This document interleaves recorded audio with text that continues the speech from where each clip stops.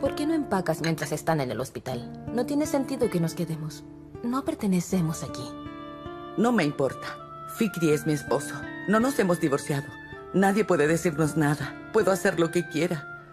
Querida, voy a esperar aquí a mi marido. ¿Qué sentido tiene vivir aquí junto a Seref, mamá? Ven conmigo. Esperemos en mi casa que vuelva el señor Fikri. No, voy a esperar aquí. No quiero que empaques ni que te vayas de esta casa. No me vas a dejar sola, ¿verdad? Sabes que no me quedaré aquí, mamá. Es imposible. Yo no pertenezco aquí. Y tú tampoco. El señor Fikri te dejó, mamá.